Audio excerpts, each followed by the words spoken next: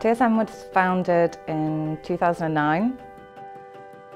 We began with three employees working out of a, a one-room office in Selby.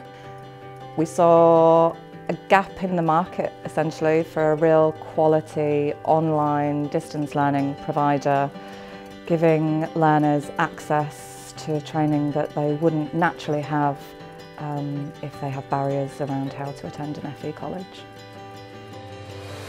Over the last 10 years, TSN's success has been vastly down to dedication of, of our staff, um, the passion for the learner journey. Um, we, we really dive into ensuring that we help learners achieve their potential, grow their lives um, and give them strong career opportunities.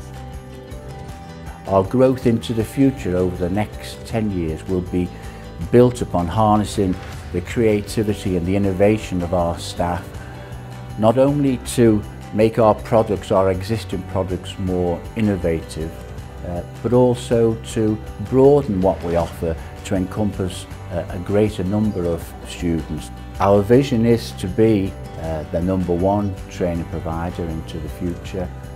We're, we're, all, we're all excited here at TSN over the next 10 years. Some of the provision that we will be providing in 10 years time, none of us have even, have even thought about. Some of those will be for jobs that don't even exist now. What we all know is that by harnessing the creativity and the innovation of our staff here at Skills Network, we'll be working with our partners continuously in that programme to ensure that we're serving the needs of our students, our local economy and our employers.